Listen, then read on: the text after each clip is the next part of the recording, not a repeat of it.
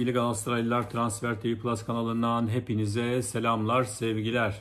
Evet, e, 2022 yılı aslında Galatasaray açısından beklentinin çok yüksek olacağı bir yıl olacak. Çünkü Mart ayını gören, Avrupa'da Mart ayını gören, Avrupa Ligi'nde Mart ayını gören bir Galatasaray var. Önünde 7 maç var. Bu maçları da iyi sonuçlar alıp turları tek tek atladığında şampiyonluğa ulaşabilir. Türkiye'ye bir Avrupa Ligi şampiyonluğu daha getirebilir. Bu doğrultuda da e, kadrosunu güçlendirmek istiyor Galatasaray. Çünkü şampiyonluk yarışında e, puan farkı çok açıldı. E, evet matematiksel olarak Galatasaray'ın e, şampiyonluk şansı devam ediyor ama bence şampiyonluk yarışını havlattı. Zaten bütün enerjisini de Avrupa'ya e, ayarlayan bir Galatasaray var. Bu doğrultuda transferler yapılacak Galatasaray'da. Şimdi e, Galatasaray ile ilgili topladığım transfer bilgilerini sizinle paylaşacağım sevgili Galatasaraylılar.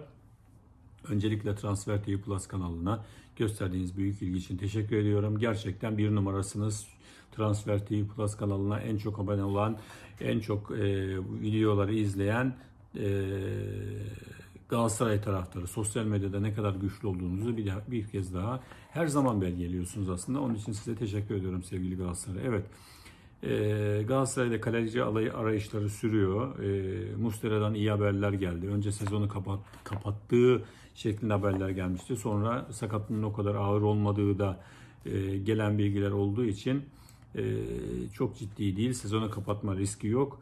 E, o dönemlerde sezonu kapatma riskinin olduğu dönemlerde e, Avrupa'nın önde gelen kulüplerinde forma şansı bulamayan yani ikinci kaleci durumundaki kaleciler e, Fatih Terim'in, teknik direktör Fatih Terim'in önüne konulmuştu. Bunlardan biri Napoli'nin kalecisi Meret, diğeri de Arsenal'in ikinci kalecisi Leno'ydu. Ancak Mustara'nın sakatlığının çok ciddi olmadığı için genç kalecilere dönüldü. Bunlardan biri biliyorsunuz e, Kayseri Spor'dan Ren takımına e, giden Doğan Elemdar. Çok genç bir oyuncu ama müthiş refleksler olan bir kaleci. Ren'de e, forma şansı bulamadı. E, sezon başında bir maçta Kayseri Spor forması giydikten sonra Doğan Ren'e gitmişti ama bir dakika bile forma giyemedi orada. Hiçbir maçta da kadroya giremedi. Çünkü genç bir oyuncu. Yatırım için aldılar zaten. Eğer Ren Doğan'ın sezon sonuna kadar Galatasaray'a kiralamasına izin verirse FIFA Fransız ekibinde hiç maça çıkmadığı için genç oyuncunun yani Doğan Elemdar'ın Galatasaray oynamasına Galatasaray'da oynamasına engel çıkarmayacak. Galatasaray'a göre bu iki taraf için de kazançlı bir operasyon olacak. Çünkü Ren de oyuncunun pişmesini körel, e, pişmesini ister, körelmesini istemeyeceği için Galatasaray'a oyuncuyu e, maç eksiğiyle kulübede paslanmasın diye verebilir. E, bunu hep birlikte göreceğiz. Galatasaray'da e, Ocak ayında ve sezon sonunda bir değişim olacak. Ocak ayında şun, düşünülen isimler, e, şunlar gönderilmesi düşünülen isimler. Onları sizinle paylaşayım. E, Asun Çao biliyorsunuz e, gideceği, gideceğine kesin gözüyle bakılan oyuncuların başında geliyor. E, zaten neden geldiği, nasıl transfer edildiği, kimin e, bu transfere kefil olduğu açıkçası bizim medya olarak pek anladığımız bir durum değil. Herkes e, bu Asın Çağ transferinde adeta kafasını kuma gömüyor. Kim referans olduğu, kim alınmasını istedi.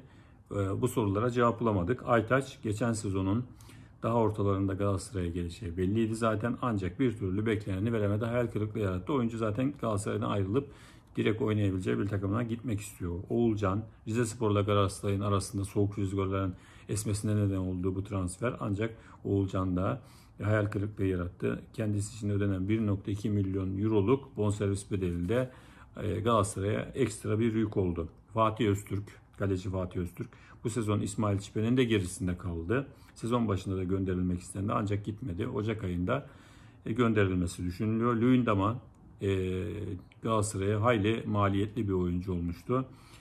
8 milyon euro e, bon servis bedeli ödenen e, bir oyuncuydu. Ancak Nelson ve Marka'yı geçme ihtimali şu anda yok. O yüzden yönetim onu takasta kullanmak istiyor. Bunu da söyleyeyim sevgili Galatasaraylılar. Van Aanholt Van Aanholt'la ilgili e, o da aslında bir hayal kırıklığı yaratıyor. Tam Fatih Terim'in istediği bir oyuncu değil. Öne doğru çıkıp ortaları var ama yani şu an Galatasaray'da tam anlamıyla sol bek sınavını başarıyla geçmiş bir oyuncu değil. E, Vedat Muriç istiyor Galatasaray ve Vedat Muriç takasında kullanılabileceğini daha önceki videolarda söylemiştim. Bu konuda pazarlıklarda sürüyor. Yedlin, Van Aanholt gibi o da e, çok böyle e, Galatasaray taraftarının, Galatasaray teknik heyetinin çok beğendiği bir oyuncu değil. Sezon başında da gönderilmek istenmişti ama talibi çıkmayınca kalmıştı. Ocak ayında gönderilmesi düşünülen oyunculardan biri. Babel sözleşmesi sezon sonunda bitiyor.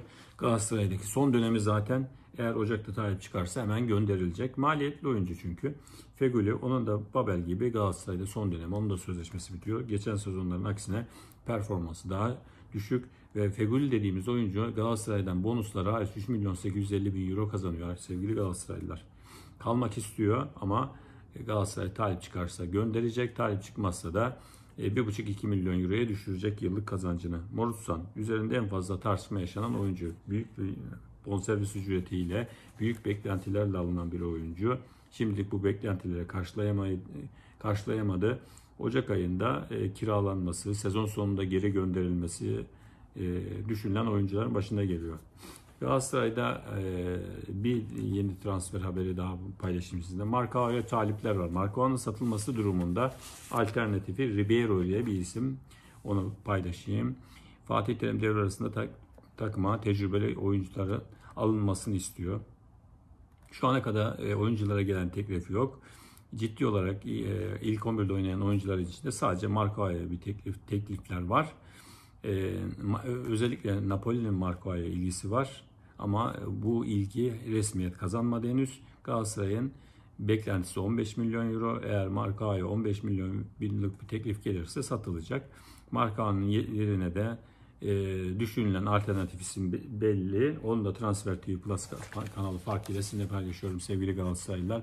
Bu oyuncu Belenenses takımında oynayan 22 yaşındaki Belenenses takımının sol stoperi Thomas Ribeiro. Evet. Ee, asıl bomba şimdi paylaşıyorum sevgili Galatasaraylılar. Asıl bombayı sizinle sıkı durun. Galatasaray'a bir dünya yıldızı ve Galatasaray'ın bu oyuncuyla ilgilendiği transfer teklifi yapmayı düşündüğü söyleniyor. Aslında Galatasaray Falcao'da bu sınavı e, verdi, pişman oldu ama Brezilya'da öyle bir iddia ortaya atıldı ki o iddiaya göre Corinthians'ın kadrosuna katmak istediği Luis Suarez'le, evet yanlış duymadınız, Luis Suarez'le Galatasaray'ın da bir görüşme yaptığı söyleniyor. Bunu Brezilya basını söylüyor. Önceliğini Avrupa'da kalmaya veren Uruguaylı golcü Luis Suarez eğer diyor Türk ekibiyle yani Galatasaray'la anlaşamazsa Brezilya ligine dön Brezilya ligine gelecek diyor. Atletico Madrid formasıyla La Liga'da 18 maçta 7 gol, Şampiyonlar Ligi'nde 6 maçta 1 gol atmasına rağmen Luis Suarez'in keyfi yerinde değil, mutsuz. Çünkü teknik direktör Diego Simeone, Simone e, ile arasında e, sorun varmış. Soğuk rüzgarlar esiyormuş. Bu yüzden devre arasında Ocak ayında yani takımdan ayrılmak istiyormuş. Atletico Madrid yönetimi Luis Suarez için bonservis bedeli istemiyor. Ancak Suarez'in yıllık maaşı 6 milyon euro. Eğer sezon sonuna kadar Galatasaray'a gelecek olursa Galatasaray Kulübü'nün kasasından 3 milyon euro çıkması gerekiyor. Bu da sadece yarım sezon için sevgili Galatasaraylılar. Evet sevgili Galatasaraylılar e, Transfer TV Plus kanalında işte Luis Suarez bombasını da patlatmış oldum. E, hepinizi Transfer TV Plus kanalına abone olmaya bekliyorum. Yani e, abone olmadan videoları izleyip çıkan sevgili Galatasaraylılar abone olmak burada bedava. E, siz ne kadar abone olursanız bu kanalın performansını, reytinglerini yükseltirseniz ben de o kadar Galatasaray'dan videolar, e, Galatasaray'da olup biten her şeyi sizinle paylaşırım sevgili Galatasaraylılar. O yüzden Transfer TV Plus kanalına girdiğinizde Galatasaray videolarını izlemek için abone ol butonuna tıklayıp abone olmayı unutmayın. Çektiğim videoları beğenmeyi yani like atmayı unutmayın. Unutmayın. Soru görüş önerilerinizi bekliyorum. Şimdiden dünya üzerindeki tüm Galatasaraylılara mutlu yıllar diliyorum. 2022 hepinize başarı, mutluluk, sağlık, huzur ve bol para getirsin sevgili Galatasaraylılar. Hatta en önemlisi 2022 Galatasaray'a Avrupa Ligi'nde şampiyonluk getirsin sevgili Galatasaraylılar. Hoşçakalın, sevgili kalın.